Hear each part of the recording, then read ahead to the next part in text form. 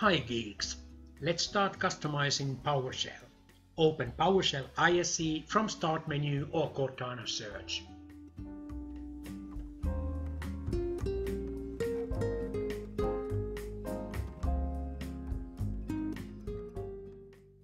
All commands, commandlets, scripts and such in this video will be detailed explained in video description at 10forums.com. See the link in YouTube video description.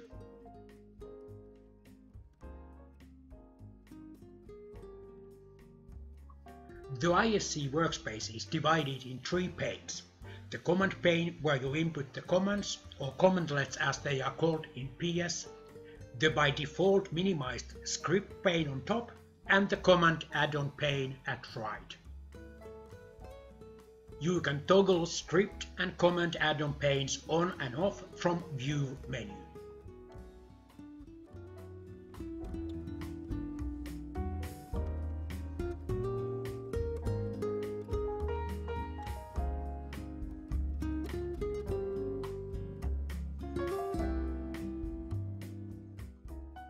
Font and other visual aspects can be changed from Options in Tools menu.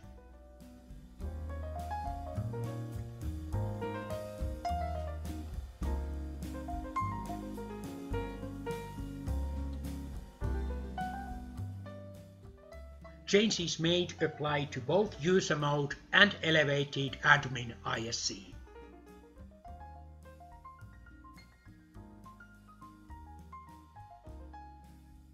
First, let's check if we have rights to run scripts with get execution policy. At the moment our rights are restricted. We'll change that, but let's first repeat the commandlet and see how it's made. A commandlet syntax is verb hyphen noun. The first part tells PowerShell what to do with the latter part. Type the verb, predictive input tells you what you can do with it.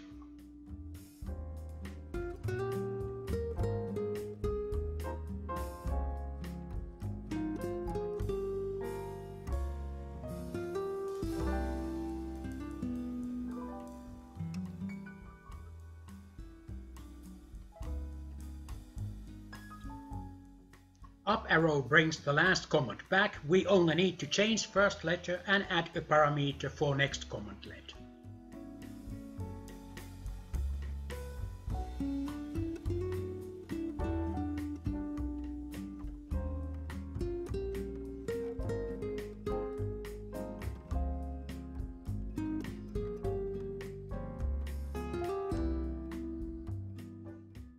In my case now I have set policies which PowerShell cannot globally override.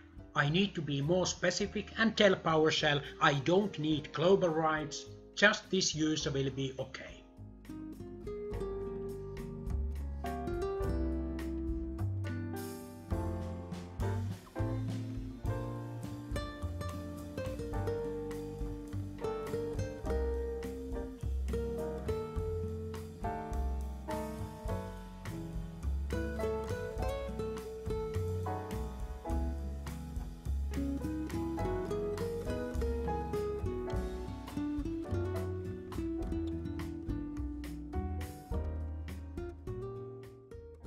Let's check. Right, okay, we can move on.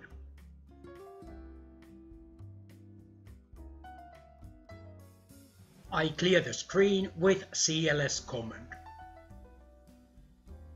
Next step is to make both user mode ISE and elevated admin mode ISE to open in same default working folder.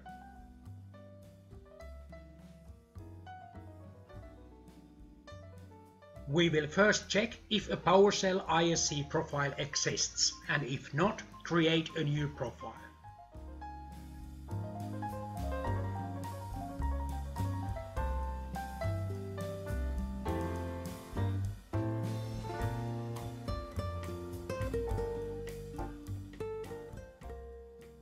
No profile exists, we can create a new one.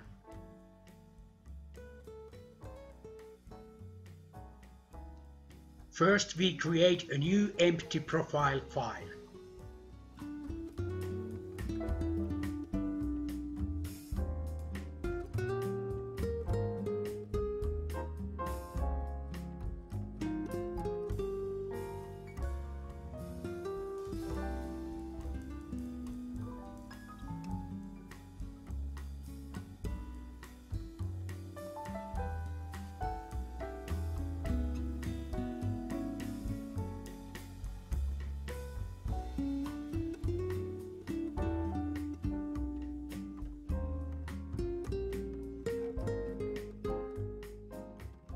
Profile will be created in subfolder Windows PowerShell in your Documents folder.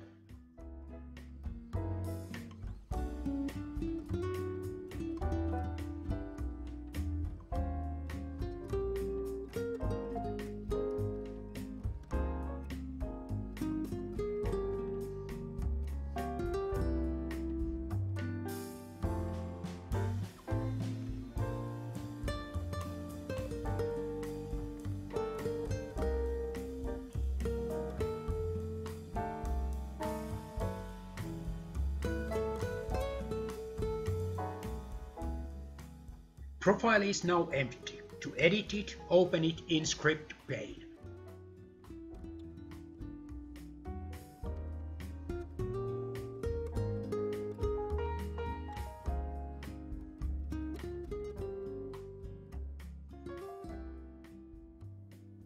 The following profile script will be explained in video description.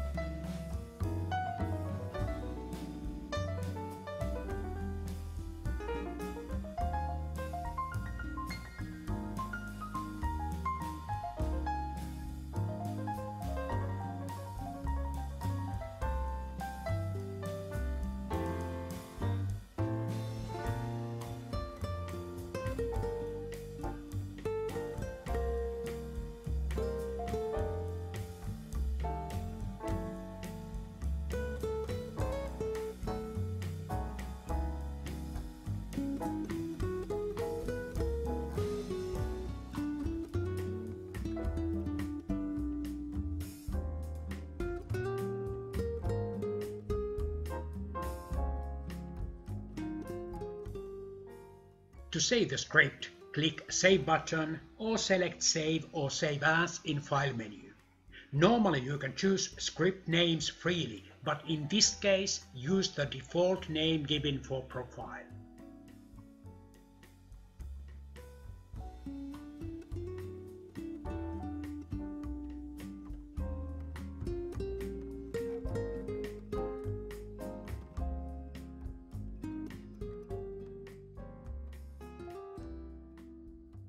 Profile scripts are text files. You can also edit them with Notepad.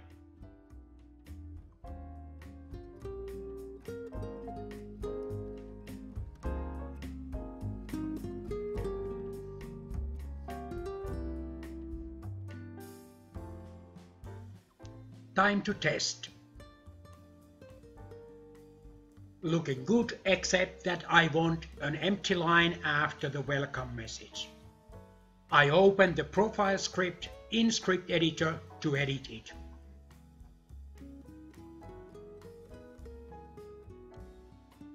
I will add an empty line after the welcome message.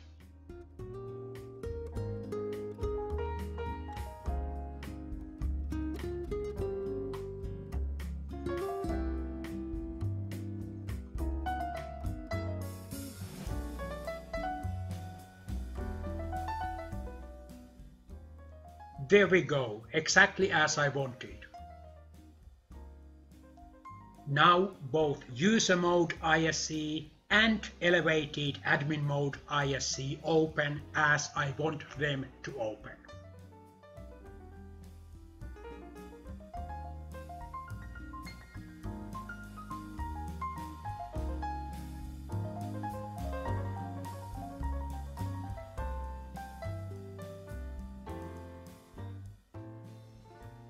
The normal PowerShell has not been changed. The changes we have made only apply to ISE.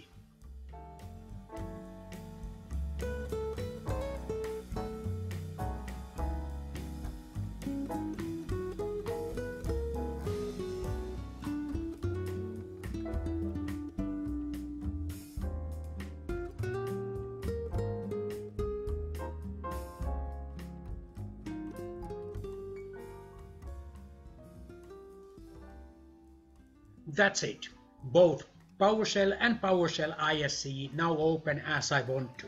I can edit both profile files independently in Notepad or ISE script editor.